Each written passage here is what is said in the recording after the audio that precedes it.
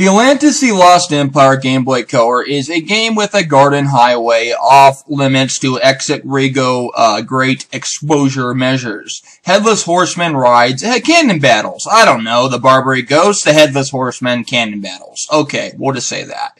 Yeah, the game actually proves to a point where the sweet deal is into a news article. It's really a historical piece. I really like this game. Disney classics of any Game Boy Color classic chosen piece. Alright, I give this game a 9.0 slash 10. Love the Burrito Master.